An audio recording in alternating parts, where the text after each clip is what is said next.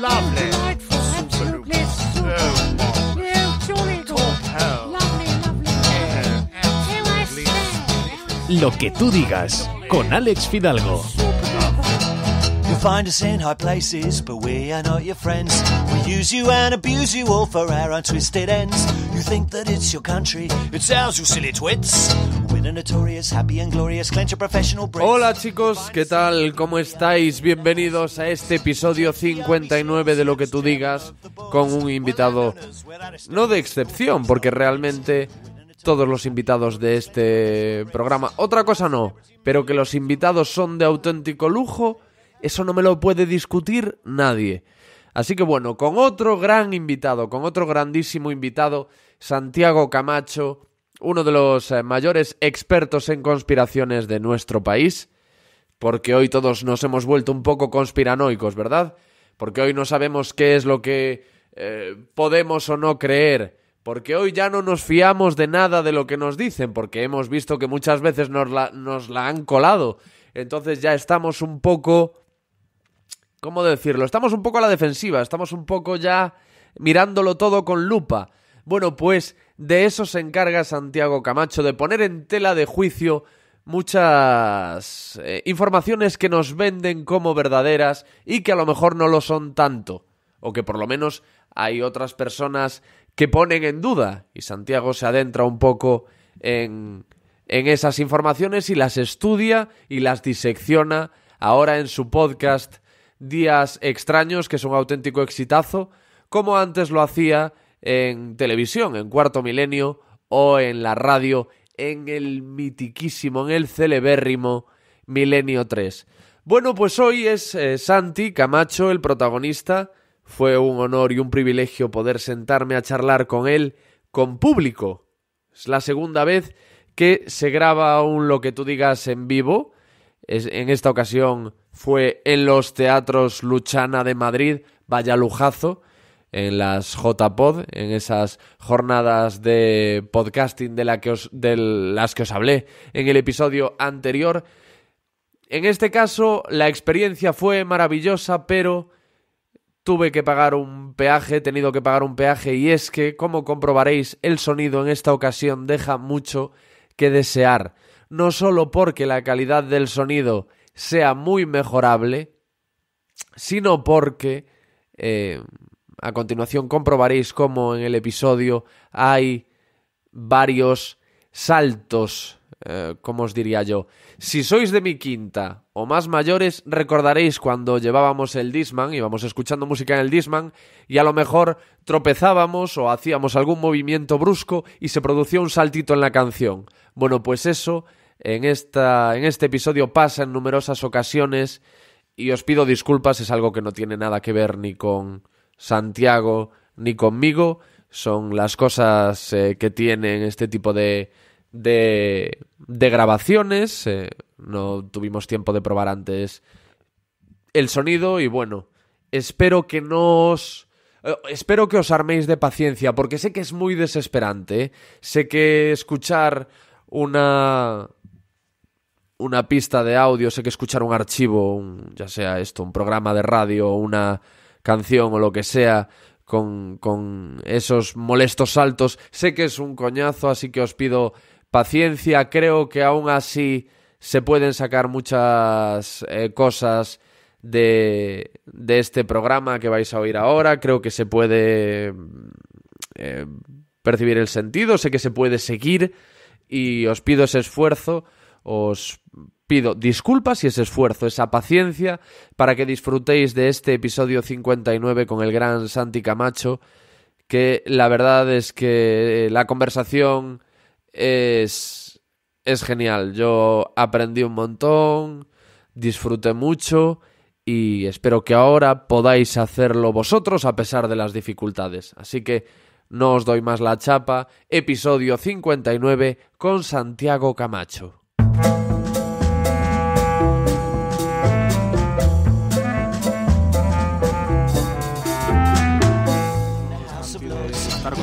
Tenerte en un episodio de lo que tú digas, que es algo que yo quiero hacer desde hace muchísimo tiempo.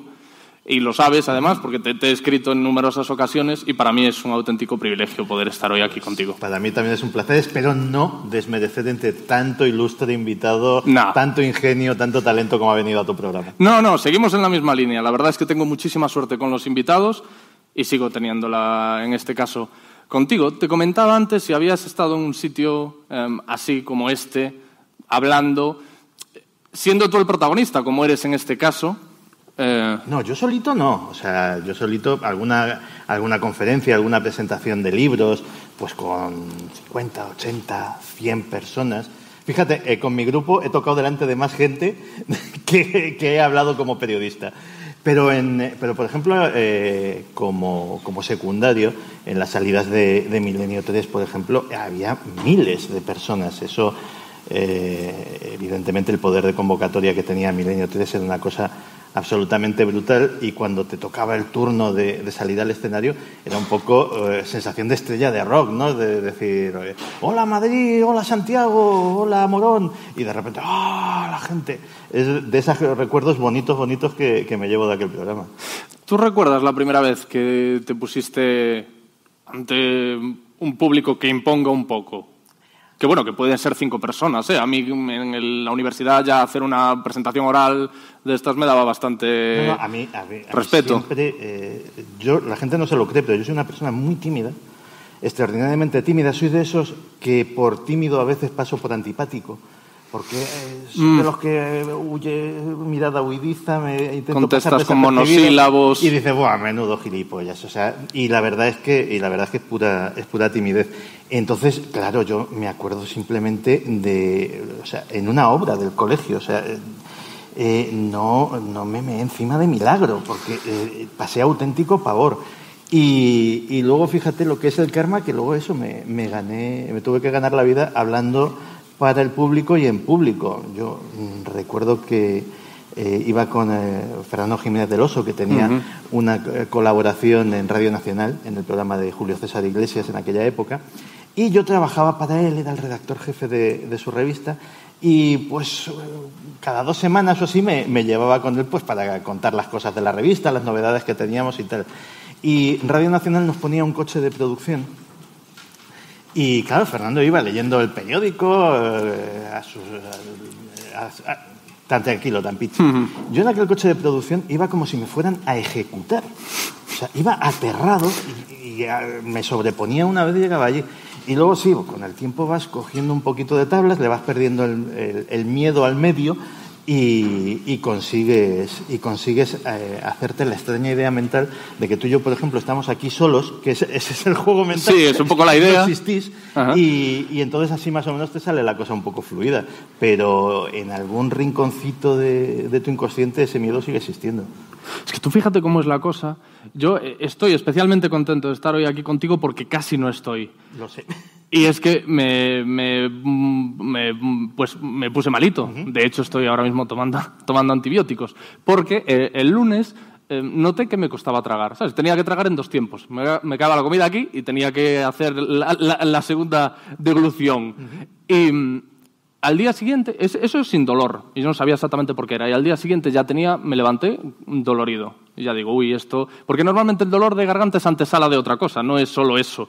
Y entonces yo digo, verás, mañana tal. Y al día siguiente me levanté, pero roto, hecho polvo. Me fui a urgencias, una amigdalitis. O sea, estoy hablándote de antes de ayer. Y una amigdalitis, pero brutal.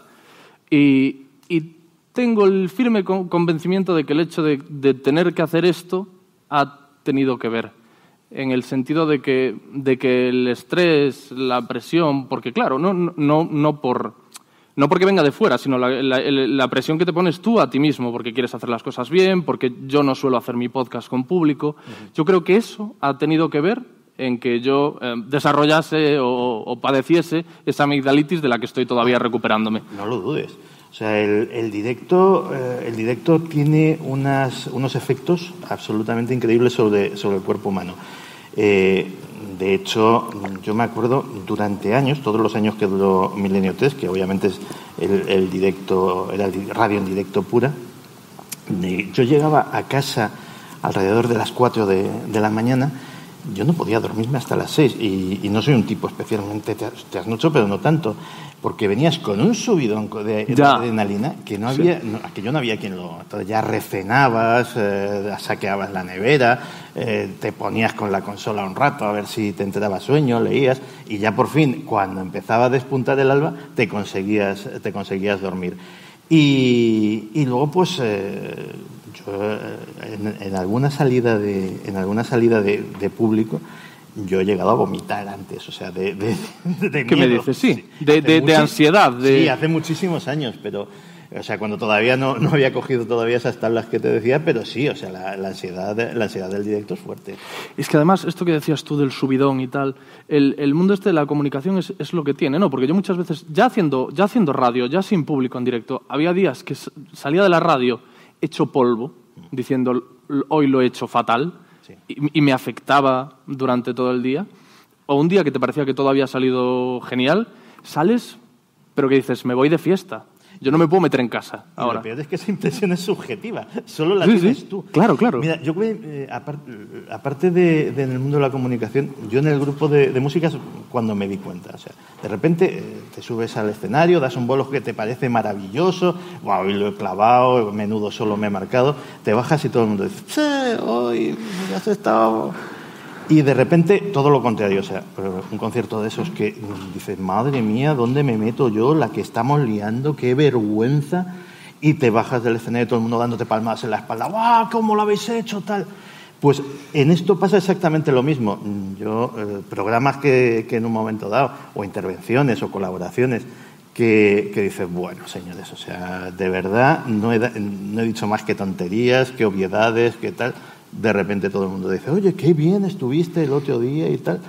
Y, y el día que dices, pues me he salido, o sea, he estado ocurrente, he estado bien, he estado, he dado un montón de datos, un montón de información, de repente te empiezas a decir, oye, ¿qué te pasaba el otro día? ¿Estabas malo? ¿Estabas distraído por algo? O sea, que al final esas impresiones son subjetivas tuyas, lo que ve el público es una cosa completamente distinta. ¿Y con qué te quedas? ¿Con lo que tú crees que has hecho? Es decir, cuando esos momentos que dices, pues he estado bastante bien, tal, o otros que dices que he estado así regular, o con lo que te dice la gente. Eso que tú dices que a veces sales pensando que has estado mal y te dicen, no, así has estado estupendo. Y otras veces que sales pensando eh, que has triunfado y te dicen, bueno, hoy no estabas en tu mejor día. Al final eh, hay que quedarse con, eh, con lo que dice la gente porque son los jefes. O sea, son... eh, yo ahora se- es una frase que, utilizo mucho con- en el podcast y, es así, que la gente son mis productores, son, son mis empleadores ahora mismo. Y, lógicamente eh, su opinión eh, me merece todo el respeto del mundo. Entonces, oye, si en un momento dado yo pienso que, porque mira, si, si pienso que lo he hecho mal y resulta que les ha gustado, todos están contentos, o sea, maravilloso. Pero si en un momento dado mm, yo creo que, lo he hecho súper bien y empiezan a caer críticas diciendo que para nada me, me lo crea, pues tendré que detectar exactamente de dónde procede esa, esa distorsión entre una cosa y otra, porque, porque evidentemente eh, el respeto, a- el respeto al respetable, nunca mejor dicho, es eh, probablemente de las cosas que no hay que perder de vista en, en nuestra profesión. Yo, eh, por ejemplo, casi siempre que, que voy a, que voy a televisión, voy de traje. Yo no me pongo un traje para otra cosa que no sea para ir a televisión. Yo no me pongo un traje ni para ir a una boda, probablemente. ¿Por qué? Porque creo honradamente que, que el público merece ese, ese- esa, Esa deferencia. Esa deferencia, o sea, de que te pongas tu mono de trabajo y, y vayas allí a, a dar la cara y a, y a hacer tu trabajo como, como Dios manda, o al menos como creas que es de, de la mejor manera posible. A mí me pasa exactamente lo mismo. Yo lo he dicho en más de una ocasión en el, en el podcast que eh, me, genera mucho, me generaba mucha envidia, me genera mucha envidia cómo eh, Paco de Lucía valoraba sus actuaciones. Porque eso lo, lo vi en un documental, creo que se llama Entre dos aguas, el documental sobre Paco de Lucía. Y no sé si lo contaba él mismo o lo contaba alguien sobre él, que podía salir a actuar. Le podía buchar todo el mundo, que sí él por dentro decía, acabo de dar el concierto de mi vida, le daba absolutamente igual lo que dijesen los de fuera, y a la inversa. Si los de fuera decían, Paco, eres la bomba, eres lo mejor que le ha pasado a la música, qué concierto, qué tal, y él por dentro decía, he dado una mierda de, de directo, no, no lo bajabas de ahí. Y, y- y esa capacidad de, de- de criticarte a ti mismo y de quedarte con tu propia opinión, joder, a mí eso me parece muy bonito también, que te des tanto en valor a ti mismo. Lo es. De hecho, el, el nivel de, de autoexigencia de cualquier persona que trabajamos para, para el público tiene que ser así, tiene que ser alto. Eh, pero en lo que difiero con lo que decías de Paco de Lucía es eso. O sea, yo mm, intento, evidentemente, eh, cada segundo que estoy delante del micrófono, dar lo mejor de mí. Pues un día te sale, otro día te sale peor, mm, vale.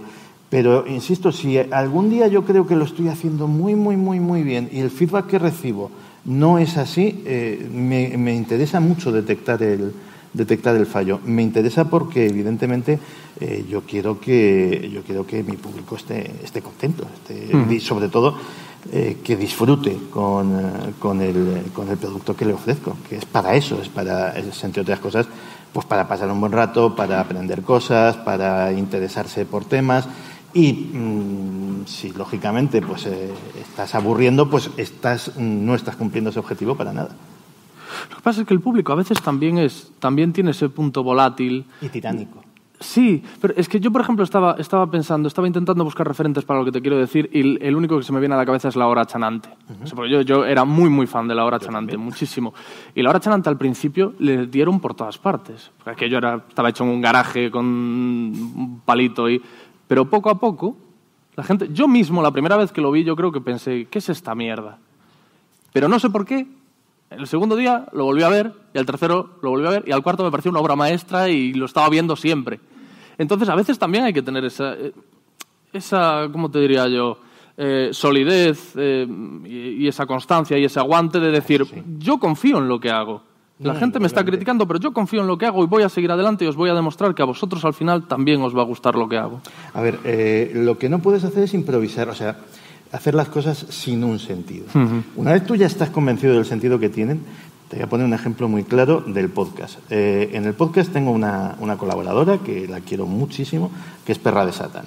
Perra de Satán es una criatura súper controvertida. ¿Por qué? Pues porque eh, de entrada ya, pues eh, su nombre artístico no acompaña. Es muy de grupo heavy, ¿no? O, o- o punk, perra de satán. Efectivamente. Eh, luego, pues porque le puse la, la tarea de buscar noticias sobre todo grotescas. O sea, que fuera un rollo muy bizarro en, en el sentido de que fueran insólitas y que fueran chocantes y que fueran eh, propias de un programa que se llama Días Extraños.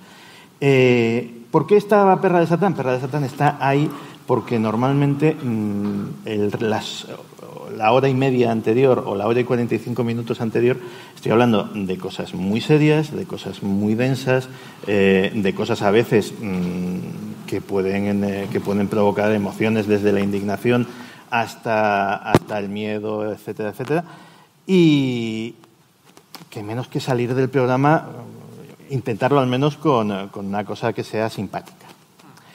Que, que no nos pilla en el punto a, Perra de Satián y a mí en el punto del humor. Mm, Vale. También te digo una cosa, eh, a veces eh, basta con que hablen, ¿eh? tampoco que hablen aunque sea bien, que se dice. Pero, pero sí, yo, yo he, ha habido críticas a favor, críticas en contra, es mi colaboradora más controvertida y, y ahí se va a quedar porque creo que, creo que cumple una función en el programa y, y además eh, tampoco te puedes dejar llevar. Una cosa es detectar esas disonancias y otra eh, ceder.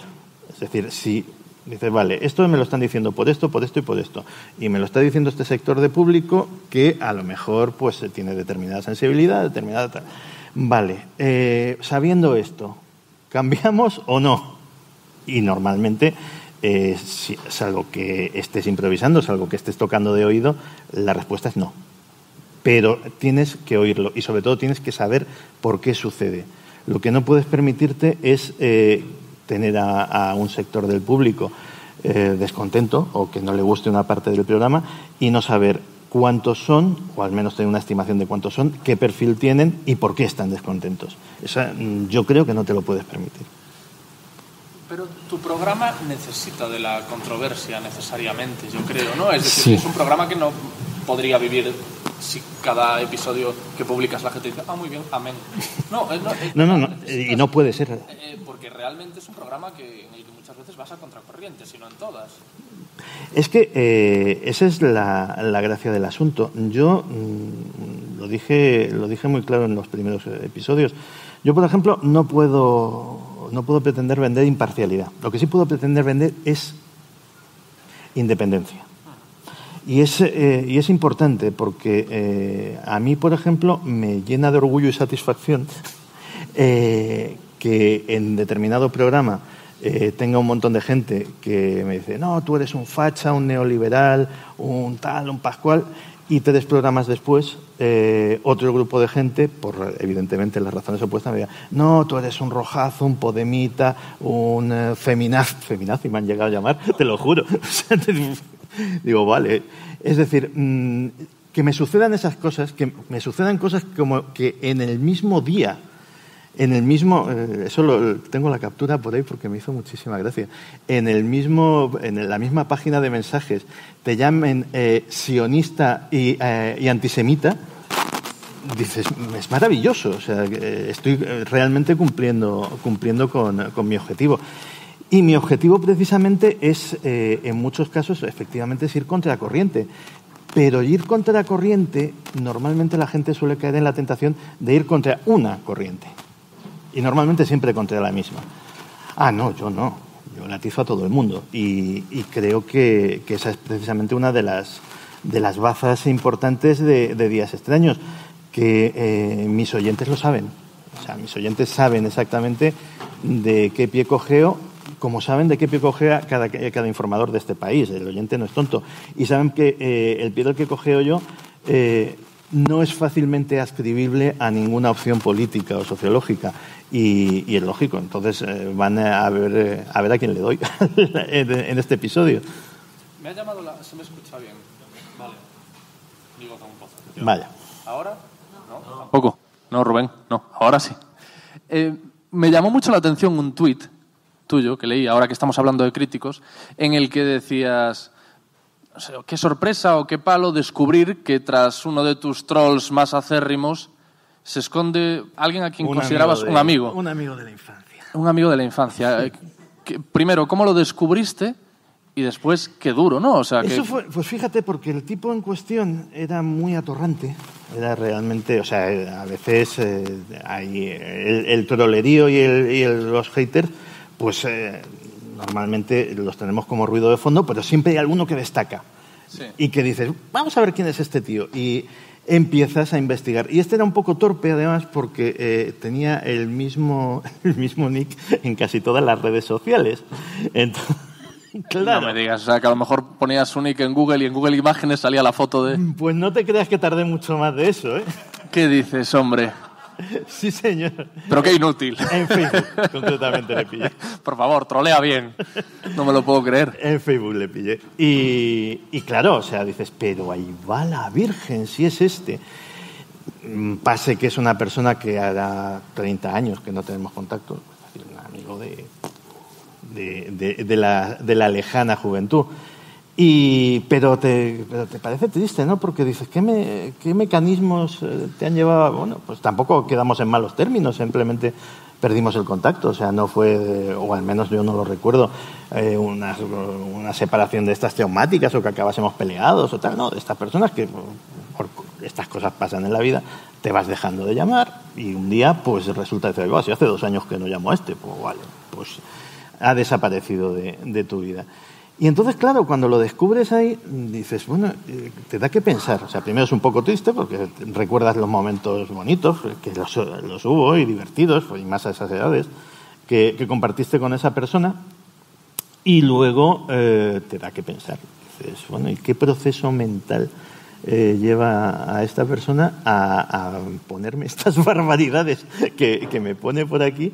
Eh, Pero te ponía cosas de qué, de qué tipo, de qué estilo. Porque cuando dices barbaridades, ¿a qué nos No, referimos? no, pues o sea, de estafador y, o sea, hater heavy, ¿sabes? O sea, hater de, de tal, engañas a todo el mundo y no sé qué, y no sé cuántas. De, de ese, de, ese estilo, te quiero decir. Entonces, claro, detectas pues que hay, ¿qué puede haber ahí? Puede haber rencor, puede haber envidia, no lo sé, pero, pero ya sí, me, y puse el tuit porque, primero porque quería que lo leyese, o sea, porque sé que lo leyó, y, o sea, que tampoco quería decirle directamente, tío, te he pillado, ¿sabes? O sea, se dé por aludido y punto. Y, y luego porque, porque fue un momento triste y quería compartirlo. Es decir, a, veces, a mí, yo en Twitter sí que, yo tuiteo relativamente poco, pero, pero cuando algo me hace mucha gracia o cuando algo me indigna mucho o cuando normalmente eh, como reacción a una, a una emoción intensa que quiero compartir. Y, eso, y ese día estaba muy triste y lo, lo, lo quise compartir. Pero por lo que tú dices, vamos a ver, rencor no había, porque dices, no, no acabamos en, en buenos términos. No, yo lo tengo muy claro, ¿eh? te lo digo porque tú has dicho lo del rencor. Yo tengo claro que el combustible que mueve a una persona a hacer ese tipo de cosas y en una situación como la vuestra de antiguos amigos y tal, es la envidia, evidentemente. Porque, para empezar, pues la imagen que tendrá él de cómo es tu vida.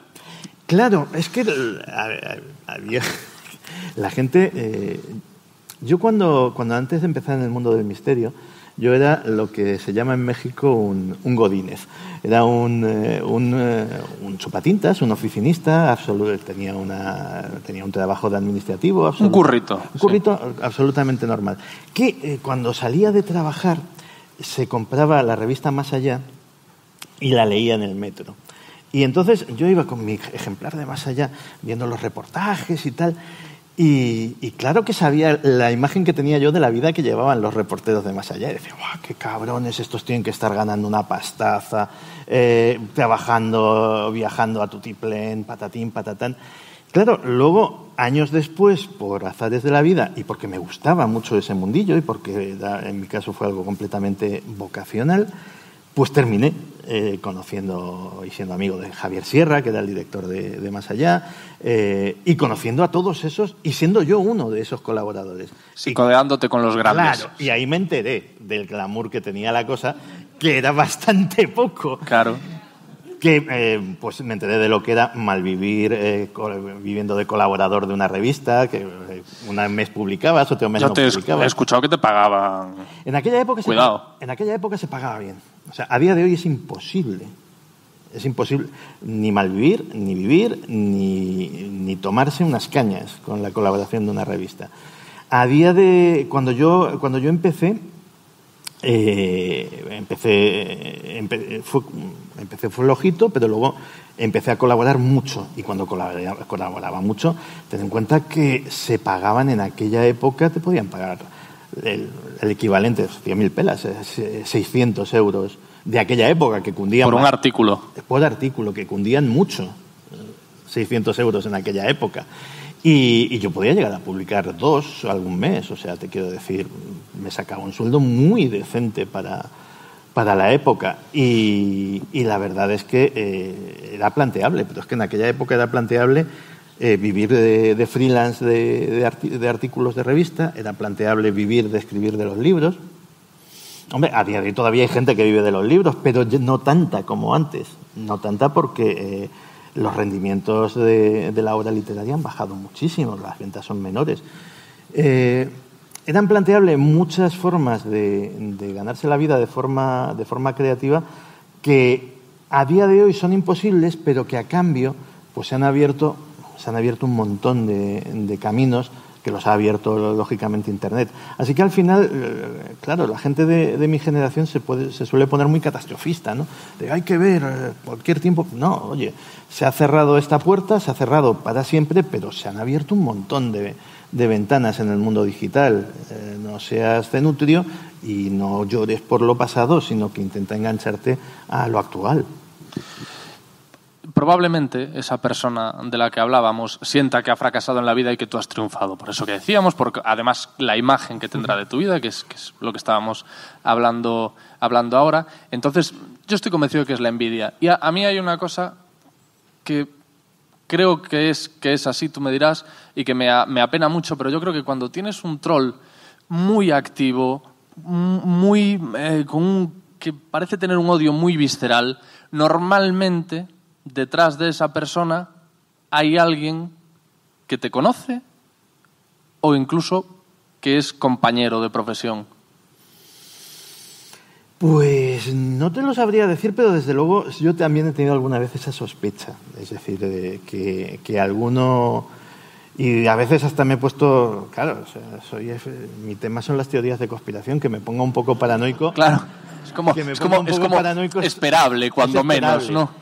Y entonces sí, en, en alguno, en alguno de ellos eh, como que de- digo, es que este estilo de escribir me suena de fulanito o de menganito, o esta forma de, o esta adjetivación, porque claro, yo me he ganado la vida con las palabras eh, pues, prácticamente los últimos 30 años, ¿no? Entonces te vas fijando mucho en, cómo escribe la gente, en eh, las palabras que utiliza, en la estructura de las frases, y, cuan- y a veces dices, uy, esto me suena. Pero, pero claro, o sea, dices, bueno, no te, vuelvas, no te vuelvas loco porque a lo mejor es que ha leído mucho o ha escuchado mucho. A esta persona a y se le ha persona y pegado se el le ha estilo, pegado, ¿no? o sea, Esa es la justificación que te das o sea, a ti a mismo para, para no tener ese rencor, ¿no? Vamos a ser buenos. No, pues em, estaba recordando yo ahora mientras me decías esto que eh, uno de los episodios del podcast lo protagonizó tu otro ahora compañero Javier Pérez Campos. Un episodio súper interesante en el que me, me- me habló mucho de lo que es el mundo del misterio, el periodismo del misterio, y me dijo algo que me sorprendió hasta cierto punto, porque más o menos algo había oído, pero me habló de una forma sorprendente- sorprendentemente abierta de que dentro del periodismo del misterio hay envidia. Mucha. Hay, hay, hay mucha envidia. Claro, al principio, alguien completamente profano, que solo lo conozca pues, como, como espectador o como oyente, sobre todo antes, dice, bueno, son 20, son 20 periodistas, 15. Son, La imagen que tenemos son cuatro gatos. Y te esperas, pues, todos mano a mano, todo muy buen rollo, y resulta que no es tan A así. ver, eh, esto ya no es lo afortunadamente esto no es lo que fue. Es decir, cuando digo, cuando he dicho ese mucha, sobre todo, me estaba acordando de hace años, de cuando yo empezaba. Porque eh, la, claro, la generación anterior, te estoy hablando de la generación de Fernando Jiménez del Oso, que, que para mí fue un amigo y un maestro, del propio Enrique, de Vicente, de Juan José Benítez, etcétera, etcétera, todos ellos sabrán y recordarán, eh, al menos los, los que estén vivos todavía, mm, las grandísimas rencillas que había entre grandes sectores de- del- misterio. Y, y algunas de ellas son, son históricas, o sea, no, pues por respeto no voy, a, no voy a citar nombres, pero yo me acuerdo de una anécdota que se contaba de dos eh, investigadores que se llevaban fatal entre ellos y que uno estaba esperando en el interior de un estudio de radio, eh, el otro eh, entraba eh, sin saber que estaba invitado el uno, lo vio por la pecera del control y dijo, yo con larvas no me junto. Y se fue. Súper Qué folclórica, ¿no? Sí, Yo sí. con larvas O sea, esa- no me junto. Y, y esas cosas... Yo la bata de cola. Efectivamente. Y esas Joder. cosas sucedían. ¿no? Entonces, eh, nosotros que, digamos que los que estamos ahora en el candelero, valga la, la- la expresión, somos, eh, somos bastante contemporáneos, somos- podría decirse que somos una generación, eh, tenemos una ventaja, que es que Javier Sierra, Iker Jiménez, eh, Bruno Cardeñosa, etcétera, etcétera, eh, no solamente tenemos más o menos edades parecidas, sino que es que eh, nos conocemos desde hace eso, 25 años o 30 en algunos casos. Y, y la verdad es que hemos ido de copas juntos, hemos viajado juntos, hemos eh, tenido rencillas eh, cruzadas, eh, nos hemos peleado, nos hemos reconciliado, etcétera, etcétera. Es, en, ese, en ese, digámoslo así, en ese grupo generacional ya es muy difícil que, que se generen esas cosas y además porque lo mamamos de nuestros mayores, que, eso, pues, viendo esas escenas que a veces eran bastante grotescas, pues no queríamos protagonizarlas. Pero sí, luego también eh, influyen cosas como la competitividad, influyen cosas como, como el celo profesional a la hora de, ser el primero en cubrir, en cubrir un tema o en conseguir una, una exclusiva. Y mira que no es precisamente usted un, un campo del periodismo en el que los scopes, las grandes exclusivas, tengan, tengan eh, mucho protagonismo, pero aún así tienes ese punto honor profesional. Pero no deja de ser, no deja de ser a un nivel relativamente, relativamente de baja intensidad comparado con lo que había con lo que había antaño. Antaño, antaño eran odios terroríficos. Vamos, pero esto me lo decía Javier Pérez Campos, que es un mocoso. Que más... ¿Cuántos años tiene Javi? Vamos, le llevo yo tres, yo creo, cuatro. Javier debe de estar- Yo creo que no llega ni a 30, el Eso- sinvergüenza. Eso, eso estaba intentando, eh, intentando calcular si llegaba a 30 o no, pero debe de estar raspando o 20, 28, 28 Sí, sí, 30. sí. ¿Notas mucho la libertad de hacer tu podcast, la, la- la tranquilidad, el... Mira, este es mi barco, fuera que digan lo Sí. que quieran, que aquí el timón lo llevo yo y todo me resbala. ¿Lo notas mucho? ¿Notas que antes te influían más las cosas y ahora ya todo te da absolutamente igual? Eh, sí, o sea, vamos a ver, ahora noto la responsabilidad, es decir, es eh, ahora no tengo, no hay, eh, no hay nadie que, que ponga la cara, o sea, la- ahora la cara es la mía y si hay que partírsela a alguien, me la partirán a mí. Y, y por otro lado, sí, claro, vamos a ver, eh, yo me he pasado muchísimos años teniendo una relación personal y profesional muy estrecha y maravillosa con, con Iker, con Iker Jiménez. Y era mi jefe. Entonces, eh, vamos a ver, yo podía eh, llegar a tener un criterio sobre las cosas, pero eh, también tenía que ser consciente de quién era el director del programa, con lo cual, eh, obviamente, eh, las cosas se hacían como él quería y me parece que es lo más lícito y lo más lógico y que no hay forma, o sea, no hay queja posible. Pero lógicamente ahora estoy llevando mi, pequeño proyecto y, lógicamente hago las cosas a mi, a mi aire. ¿Es, eh, ¿Es refrescante? Sí. No es tan refrescante el, cuando te acuestas una noche y dices, no, no habré metido la pata, porque claro, la soledad es muy mala. Es decir, a, a día de hoy tampoco, tampoco esto se lo enseño a nadie antes de sacarlo al aire. No, trabajar en con un equipo grande eh, te da una ventaja enorme que es la opinión colegiada. O sea, al final cuando, cuando hacías un, eh, cuando preparabas un milenio 3, cuando preparabas un cuarto milenio, éramos muchas voces a opinar. Y, y al final, evidentemente, había una voz que era la que más contaba, pero tenía muchas voces aconsejando y muchas voces matizando las cosas. Aquí, eh, si me equivoco, me equivoco yo solito y me caigo con todo el equipo. Pero aún así no lo cambio, no, estoy contento, sí. Pero es que eso a mí me parece lo maravilloso del podcast, lo que has dicho. Aquí si me equivoco, me equivoco yo solo y me caigo con todo el equipo. A mí eso me parece, o sea, el tener la seguridad de que si te equivocas, la culpa es tuya, me parece tan liberador. Porque yo ponía el ejemplo ahora cuando me han hecho la entrevista aquí de la televisión. En televisión tú haces algo mal y tienes la posibilidad, si eres una persona de estas tendente a descargar, de decir, no, es que el realizador no pinchó cuando yo le dije que pinchase, es que aquí el guion me pasó no sé qué, es que el cámara no tal, es que eh, iba mal maquillado y entonces la gente pasó de mí porque estaba fijándose en que tenía aquí una mancha, lo que se te ocurra.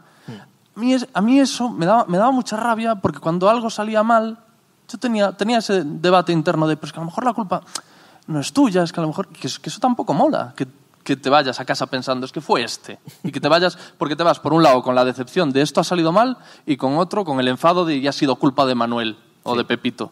En cambio, en el podcast, si las cosas salen mal, si hay un episodio que no funciona así, yo tengo una tranquilidad brutal, porque además, cuando el error es tuyo, sabes cómo trabajarlo. Si, si tú llevas un programa en el coral eh, y el error crees que es de otro, tienes que tratarlo con esa persona, es, es como más complicado, dependes de que esa persona aprenda, cambie. Tú en tu podcast sabes qué errores has cometido y dices, esto no lo vuelvo a hacer. Cierto. De hecho, incluso si es tu podcast, si es eh, estando solo, puedes permitirte un lujo que, que yo a veces me permito. Yo sé que hay, yo hay episodios que los hago sabiendo que no van a funcionar. Así, de claro.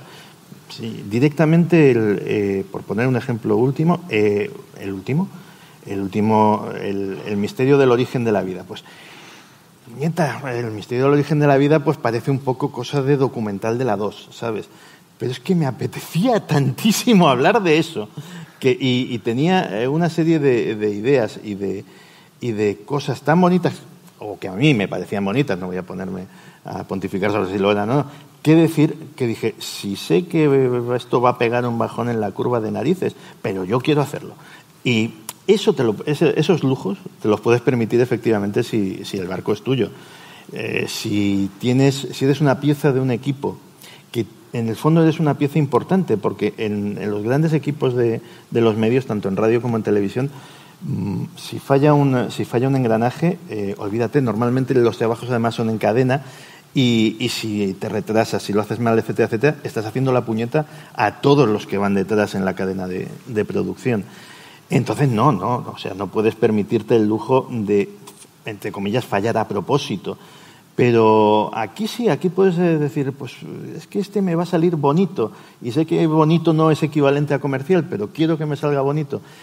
Son pequeños lujos, pequeños lujos. Y con los aciertos lo mismo, ¿eh? porque yo cuando hacía las cosas bien, yo no me trato muy bien a mí mismo. Lo he dicho en diversas ocasiones en el podcast sin rubor. Entonces, cuando las cosas me salían bien, yo decía, sí, pero es que el equipo ha hecho no sé qué, es que el, el guion era muy bueno, es que me ha ayudado mucho el otro compañero que tenía, tal. Y aquí, cuando las cosas salen bien y te fel- felicitan, dices, joder, pues he sido yo. Y sacas pecho y estás contento. Y eso es lo que me parece más maravilloso de este, de este mundo que es el podcasting. Perdona un momento, soy muy malo con los gestos, me van a matar, pero compañeros, eh, que me estaban diciendo que nos, queda, nos quedan dos minutos. ¿Dos minutos? ¿Es esto posible? Estoy alucinando, estoy alucinando. Yo no sé si os ha pasado a vosotros, pero tengo la sensación de que, de que, de que llevo a- a- lleva- llevamos hablando tres minutos. Te lo juro, Sí, te lo, te juro por Dios. A ver, es que yo quería preguntarle por... eh, el- la semana que viene se va a estrenar First Man. Qué inglés, ¿eh? First Man. Y, y que narra la llegada del hombre a la luna. Y bueno, tú has tenido tus más y tus menos con ese tema. Sé que has andado mucho este camino y que te estoy pidiendo que reandes un camino a- muy andado, pero es que quiero que nos hables de, Claro. de esa conspiración, que es lo tuyo al final. No, Es no- que- pero a mí siempre me ha caído el San Benito de que yo decía que no habíamos ido a la Luna. Y yo lo único que hice fue un capítulo en, el- en un libro que explicaba lo que dice la gente que no. Eh, es como si, como el otro día que llevé a un terraplanista, que llevé a un terraplanista al, al podcast, claro, dice, no, es que este señor eh, cree que la Tierra es plana. No, oiga, yo he llevado a uno. que- que Yo he hablado con Laureano Viña. Pues he hablado con un narcotraficante en mi podcast. Pero yo sí que creo, y, y por apurar esos dos minutos, yo sí que creo que eh, en el viaje a la Luna sucedieron cosas que no nos han contado todavía. La verdad sea dicha. O sea, no dudo en absoluto de, de la autenticidad de ese viaje. Puedo dudar de la autenticidad de algunos eh, documentos gráficos que se te ¿A trajeron de ese iba? viaje. Eso ya es otra cosa. Que estuvieron allí, no tengo ningún problema con ello. Y desde luego, pues hay, hay puntos como, como los, el los famosos minutos perdidos en los cuales se echó a la prensa de todas las salas de control y todo ese tipo de cosas, que, que indican que algo, no te, voy- no te voy a hacer una hipótesis, no- lo normal es que se encontrasen algo que no se esperaba. Hay, hay gente como Juan José Benítez que piensa que se encontraron algún tipo de estructura o algún tipo de, o algún tipo de construcción. Como que alguien ya estuvo allí, pero no quieren reconocerlo porque eso nos dejaría atrás, ¿no? O luego hay teorías que, teorías que también se basan en, en, eh, presuntas eh, emisiones de radio captadas por radioaficionados que vendrían a decir que no, que lo que se encontraron allí fue que les estaban esperando unos señores con sus platillos volantes y tal. No lo sé. O directamente eh, algo, tan- algo muchísimo más banal o muchísimo más cutre que no se puede contar por, otra, o por otro tipo de razón. No, no me voy a poner a especular eh, en qué fue. Pero desde luego que en ese viaje sucedieron muchas más cosas de las que se nos han contado, estoy convencido. Yo estoy convencido de que aquí han conspirado contra nosotros y en realidad llevamos hablando cinco minutos Sí. ahora mismo y nos están dando a entender que llevamos una hora. Pero bueno, te doy muchísimas, mucho las gracias, eh, Santi, por este rato, que ha sido, ya te digo, o sea, se me ha Corto y me lo he pasado genial, yo también. Yo me lo he pasado, vamos, ha sido brutal y, me, y sigo sin creerme que haya pasado el tiempo tan rápido. Pero eh, permíteme, que es algo que quería hacer a- al inicio y se me ha olvidado y lo voy a hacer ahora, ahora al final. Darle las gracias a la organización de las, de las JPod. Se han pegado un currazo increíble, eh, han, consta. han- han perdido pelo, eh, ha- han envejecido. Les ha pasado como a los presidentes, cuando, mira Obama, que llegó siendo un galán y se fue yendo se- se fue siendo Nelson Mandela. O sea, muchas gracias de verdad a, la organización de, la, de las JPod por todo el currazo que estáis haciendo, por lo bien que me habéis tratado, por lo mucho que me habéis soportado, por ese susto que os he dado con el tema de la, de la amigdalitis. Y voy a hacer una cosa que es muy de este tipo de eventos, que es pedir un aplauso para ellos, por favor.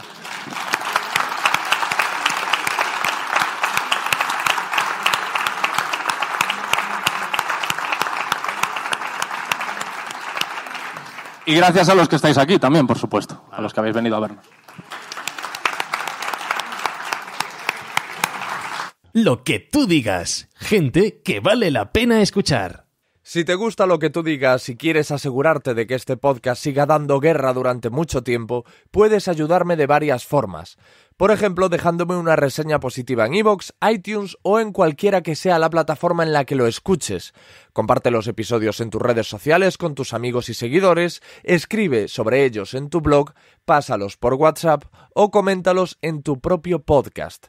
También tienes la opción de recompensar mi trabajo haciéndote suscriptor premium en iVoox desde 1,49 euros al mes, invitándome un café, vaya. Con eso me ayudarás con mis viajes a distintas partes de España en busca de las mentes más interesantes para que tanto vosotros como yo aprendamos y nos divirtamos. A cambio de tu aportación, con tu suscripción premium, escucharás el podcast sin publicidad y tendrás acceso a contenido exclusivo y a episodios especiales antes de que los publique en abierto. Por último, te recuerdo que estoy en Twitter, en arroba LQT Radio, en Facebook e Instagram como Alex Fidalgo y que puedes escribirme a alex arroba lo que tú digas. Gracias y adiós.